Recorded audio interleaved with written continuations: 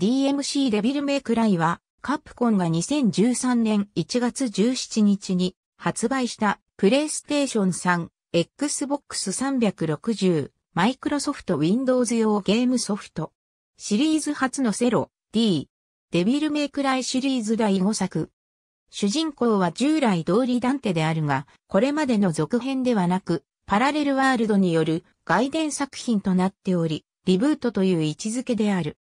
現実界の地形が歪んだような魔界と人間界が接する狭間の世界、リンボを舞台にエンジェルモードとデーモンモードというモードを切り替えながら進んでいくのが本作の目玉要素。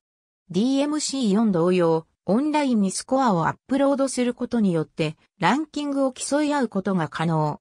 本作の全世界累計販売本数は240万本。海外のみ、グラフィックやフレームレート強化、DLC 全収録、ターボモード、マニュアルターゲットロック、 Dante Must Die を超えた高難易度 God Must Die などを追加し、ゲームバランスを調整した DMC Devil May Cry Definitive Edition が発売されている。ミリオンセールスタイトル一覧。株式会社カプコン。2019年5月22日閲覧。DMC デビル、メイクライ、S ダンテディファレントフロムオリジナルダンテ海外レビュー、速報も。オリジナル版では、エンジェルモード、またはデーモンモードでしかダメージを与えられない敵に対しても、ダメージが半減するが与えられるようになっているなど。実際のネフィリムは、打天使と人間のハーフ。